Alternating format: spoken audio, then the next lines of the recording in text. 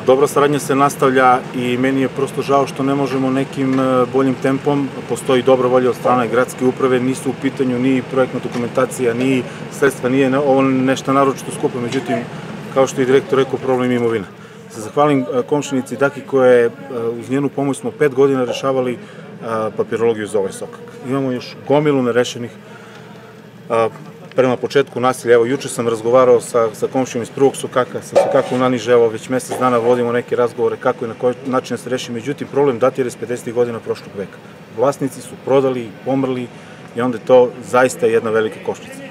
A, hoću da ponovim, gradska uprava ima volju u skladu sa, sa, sa našim dogovorom od ranije, radi se, tempo je onakav kakav jeste, trudit ćemo se da, da što više ljudi dobije elementarne uslove za život, ne znam kako drugačije da nazovem, Tako da borit ćemo se i dalje, radit ćemo, imamo odličnu saradnju i bit će to.